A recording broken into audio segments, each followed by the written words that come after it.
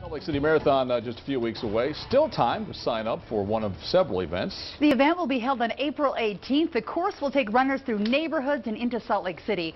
If 26.2 miles isn't exactly on your bucket list, there's also a half marathon, a bike race, a 5K, even an inline skate race. Race officials say the event inspires many people to get moving and get active. For one runner, this year's race is personal. He's running for his wife. Yeah, she was sidelined from running the marathon after she was diagnosed with stage 4 breast cancer. Mary Nichols with more in our Check Your Health report tonight.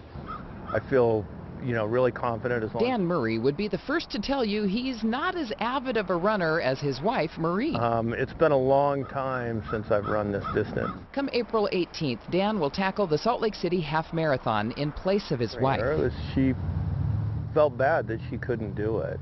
And so I said, okay, you know what, I'll do it. So this time, because it's the second time around, my prognosis is not that good. Marie Murray is battling stage 4 breast cancer. It's the same battle she fought 10 years ago. It was during that first fight Marie was introduced to the Huntsman Hometown Heroes, a group of dedicated runners who raise money for cancer research. But I thought, wow, you know what? I've just been through something kind of big. I'm up for a challenge. Through that challenge, Marie and her family have raised more than $20,000 for the Huntsman Cancer Foundation. And it was such a great experience, and I was able to raise so much money and get everybody involved. This year, Dan will represent Team Miles for Murray, and Marie will be there to greet him at the finish line. And she vows to continue the marathon of a cancer fight, a race she plans to win for her and her family. And do whatever I can.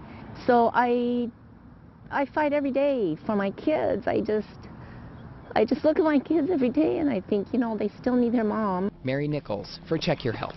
If you'd like to support uh, the Murray family there or really any of the Huntsman Hometown Heroes, we have a link on our website. Just go to www.kutv.com. You can click on the Check Your Health link. We've got all the information there for you.